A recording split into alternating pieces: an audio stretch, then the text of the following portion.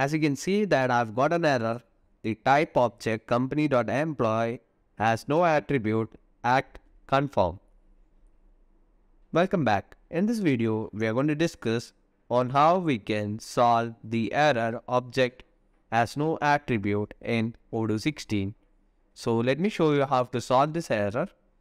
So whenever you get the error like this, that is the object has no attribute, let me show you how to solve it. So for that, let me go to the py page here. So this is the py page and you can see the custom module. That is the company.employee that I've defined and you are getting the error in this model.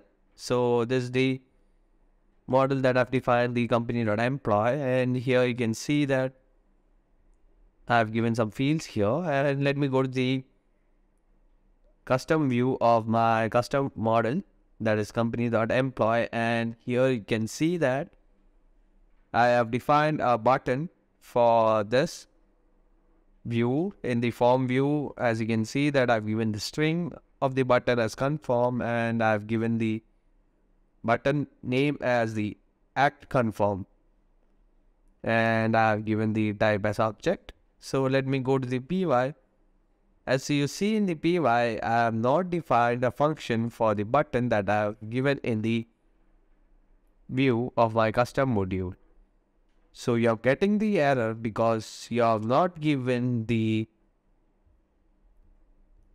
function for this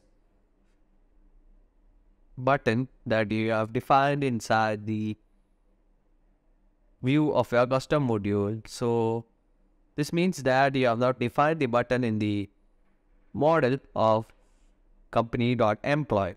So for that you need to define a function inside the model company.employee in which you have given the custom view for the button.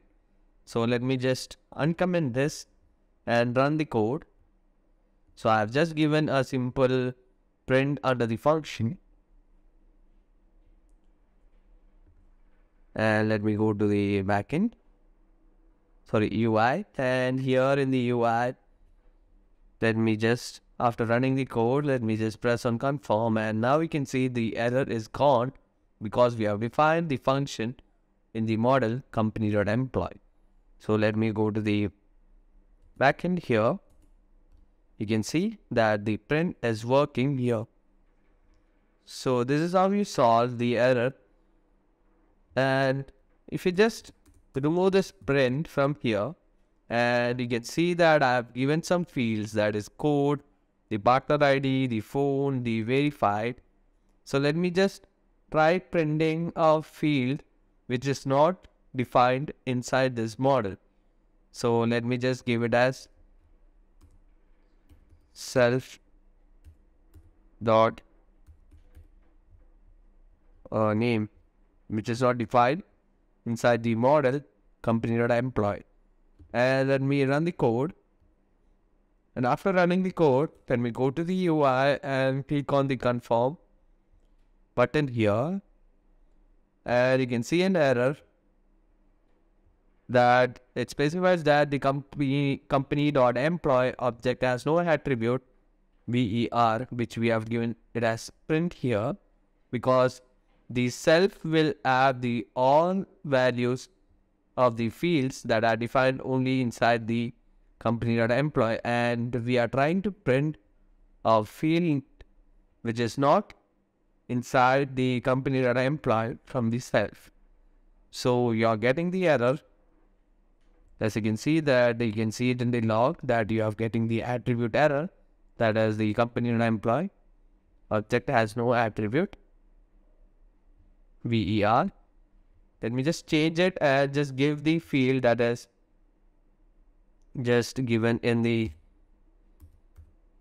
company that employee that is phone field. As you can see here that I've defined the phone field inside the company dot employee uh, let me just run the code and let me just give the number here and save it and let me just now press on confirm and you can see the phone number of the record is displayed here. Because we have given the field which is defined inside the company.employee. You can see the error is solved and you can get the value easily. So this is how you solve the attribute error field doesn't belong to the object in Odoo 16. That's all for today. Thank you.